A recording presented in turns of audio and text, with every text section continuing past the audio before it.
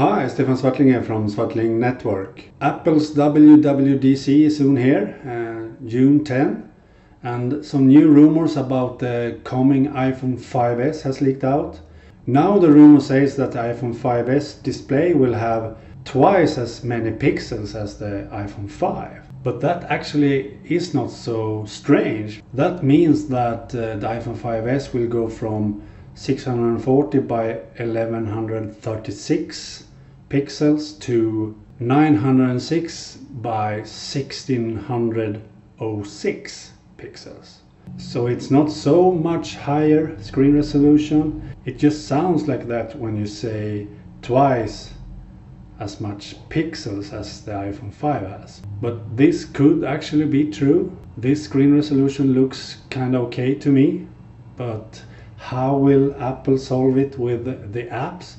Do the developers need to upgrade all their apps now so it will support this new resolution? This is the bad thing with iOS that apps don't scale as good as for Android. So the developers needs to update their apps every time Apple changes the resolution. That's a bit bad. So we will see if this rumor is true and if it's true I don't think uh, the iPhone will be called 5S. I think that will be an iPhone 6 if that's true. Please like this video, please give it a thumbs up and please subscribe to my YouTube channel. Support this channel by subscribing. Do that. Okay, bye.